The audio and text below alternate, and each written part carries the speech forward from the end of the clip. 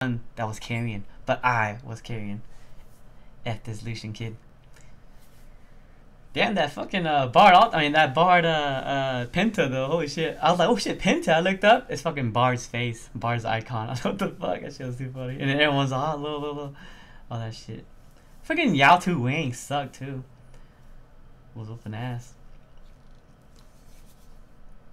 Look at his noob ass art. Look at this shit. 747. What? But guess what? 118 farm. Come on. She's down like 70 CS or so. Maybe a little bit more. Whooped his ass. Of course, no can. You're such an ugly. Damn, son. Can we not talk? About, can we just keep it League of Legends based?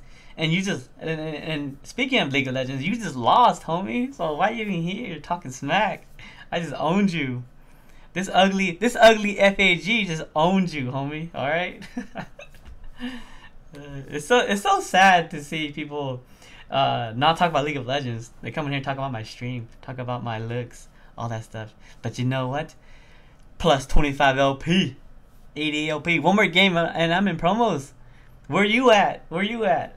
You're just probably minus 20 or so. So sad to hear your version A. Damn, yeah. Keep keep them coming. Keep them coming. I love it. I love it all.